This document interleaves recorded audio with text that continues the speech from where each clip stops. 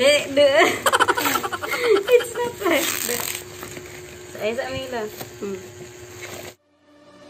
I'm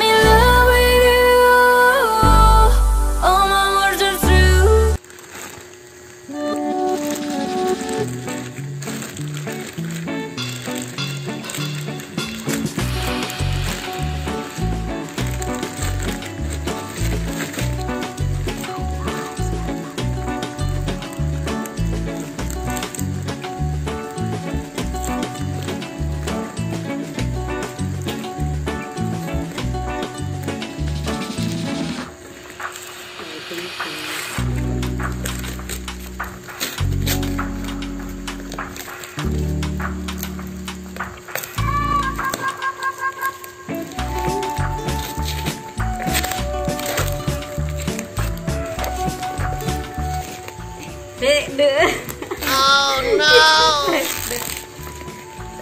no!